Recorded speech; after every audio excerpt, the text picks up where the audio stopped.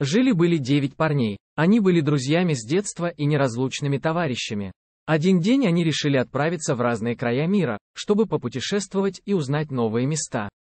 Первый парень отправился в Ереван, где он узнал много нового о армянской культуре и традициях.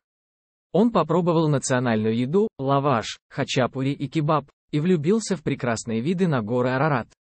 Второй парень улетел на Бали.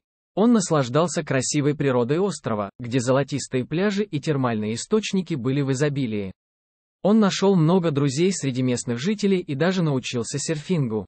Третий парень отправился в Черногорское побережье, где он познакомился с богатой историей этого места. Он посетил старинные замки, живописные города и красивые храмы. Он даже попробовал местное вино и оливки. Четвертый парень отправился в Турцию, где он узнал много нового о турецкой культуре и традициях. Он посетил исторические места в Стамбуле, попробовал местные блюда, такие как баклава, донир и кебаб. А остальные пятеро парней решили остаться в Москве и продолжать свои тусовки в городе. Они веселились и устраивали вечеринки каждый вечер, не понимая, как быстро летит время. Но в конце концов все девять парней вернулись домой и рассказывали друг другу о своих приключениях.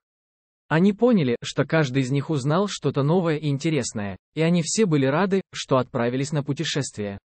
Так и жили они долго и счастливо, никогда не забывая, что каждый опыт делает их сильнее и мудрее.